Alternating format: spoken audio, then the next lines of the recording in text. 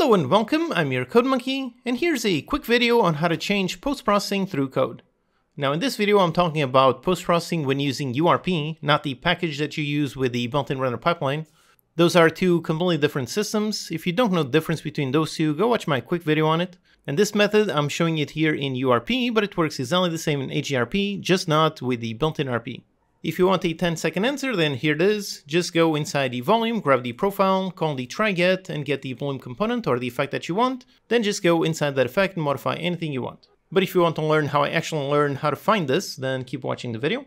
Quick mention, the Black Friday sale is starting this week. There will be tons of assets and tools on sale. There are flash deals up to 70% off, which won't last for a little while, but you can see exactly when they are coming up. So check it out with the link in the description. So here's the scene, and I just have a simple post-processing volume.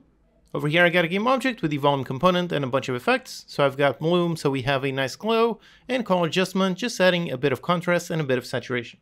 Also, if you don't know how to get bloom or a glow working, check out my quick checklist. Now the goal here is I want to modify this through code. For example, I want to press a button and over here modify the bloom intensity. Now, due to how the post-processing system works, it's actually a bit tricky to figure out how to do this. You might think you can just access the volume component, so let's try doing that. So let's make a new C-sharp script call this change post processing. Let's make a game object to run it and attach a script, okay? Now here, let's first add a very simple serialized field. Make it of type volume. And in order to access volume, we need to add using Unity engine and it's inside the rendering. So we add a volume, let's call it volume. Okay, this. Now in the editor, let's drag our reference, all right. And now here, let's do a very simple on a private void update. And on update, let's listen to input. So input, let's say get key down for T for testing. So when this happens, we want to change the bloom. So for example, if we go inside the volume and let's say we find something called intensity and nope, we can't find it. If I try to find bloom, nope, also cannot find it. I cannot find color adjustments, any saturation, anything like that. Nope, none of that exists. All we can modify is, for example, the weight. Then we can also modify the profile. So these are pretty much the only things that we have access to. And in the inspector over here, we can see what those things are. So basically, we can access everything up here. So the mode, weight, priority, and profile, but nothing down here. So nothing on the actual specific effects. So this is the tricky part. The way that this volume system works is with a kind of component system, so very much like with regular game objects where you attach components, like for example over here the volume component, you've got the transform component and so on. For the volume, this whole thing works pretty much exactly the same way. So you have the volume and then each effect is added as kind of a component. So over here we added two components, so the bloom and the color adjustment. And the reason why I know this is because thankfully this system has all of the source code available. One way to get there is simply to right click on the volume component and just click on edit script. And here it is, it shows up the script on my Visual Studio. Alternatively, if that doesn't work for you, you can browse that script by going over here onto the project window. And if you scroll down, you can see the packages drop down menu. So you can see all the packages that are installed.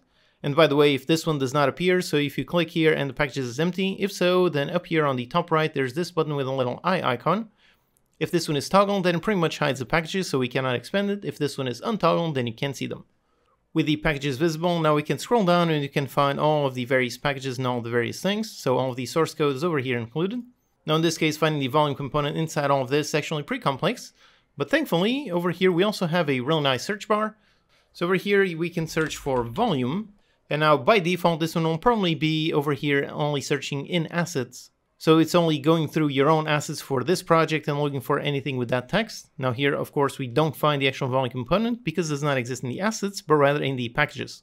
So if you click on this, yep, there you go. Now it shows you everything. And now here, if you scroll down, yep, over here, we can see the actual volume component.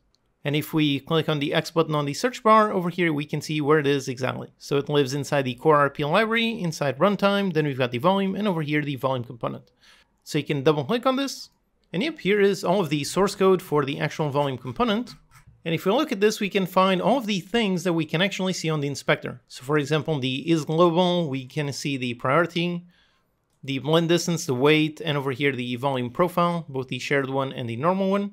So here in the inspector, yep, we are seeing all of these fields. And how this system works is that the effects are not really attached to the volume, but rather each volume has a profile, and then the profile is what contains the various effects.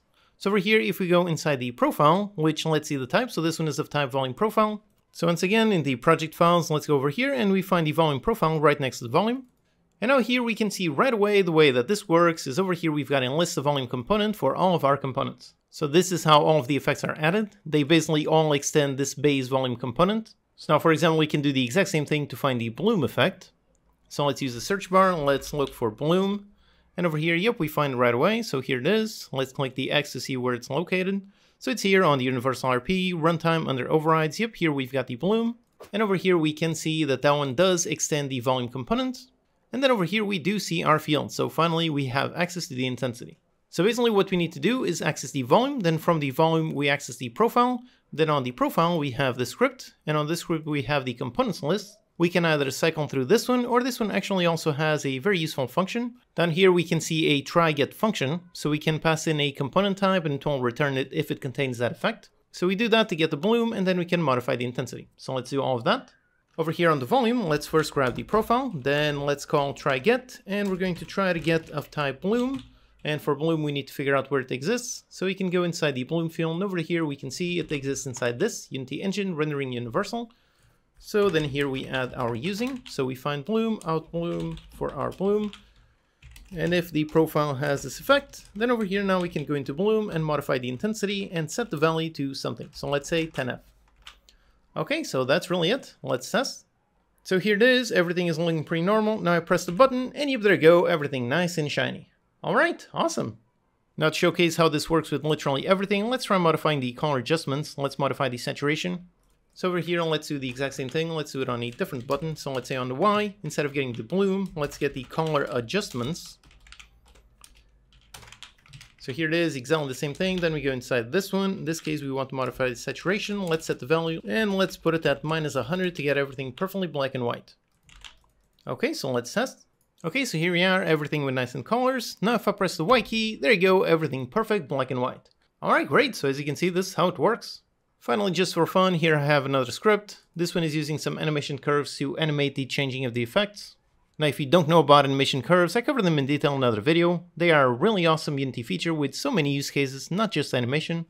So here I define two curves, one of them to increase intensity and go down, another one to decrease saturation and go back to zero. And over here in the code, I just got these. I do the exact same thing, go inside the volume profile to get the bloom and the color adjustments. With those two references, then on a button, I simply reset the time, and then I evaluate the curve and get the value. So everything is pretty much the same, really simple script, just to get it nice and animated. So here it is, and if I press a button, yep, there you go, really nice and shiny. The intensity really goes up and then down. And for the other effect, press a button, there you go, everything becomes nice and black and white. Alright, awesome, so here it is. This is how you can modify post-processing through code. And actually the same method is how you can also modify Cinemachine through code, which works very much in the same way with a component system. This method that I showed here is one of the things that I teach in my Ultimate Unity Overview course.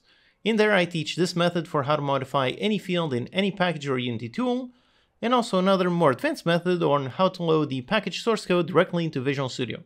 On top of that, that course also has over 50 lectures, each covering a different tool or feature of the engine, so if you want to learn more on how to better use Unity, check it out. And also before I end this video, let me just briefly mention yet another way to change effects, which is simply to play with the weight. So instead of having just one post-processing volume component, instead of that you can have two. Then on the second one, let's say use a different post-processing profile. Let's add just the bloom. So this one is really intense, and you would make sure that this one has a higher priority, and over here with the weight you push it down to zero. So with this, with this one with the higher priority but weight of zero, and the base one with the standard priority and a weight of one, with this one, if you want to add a nice quick flash, you could simply increase the weight and then decrease. So for example, when the player takes damage, you could just flash the screen by modifying the weight instead of having to actually modify the effect itself. So that's just another quick tip for how you can play around the effects during gameplay. There's many options depending on how you want to use them. Alright, hope that's useful. Check out these videos to learn some more.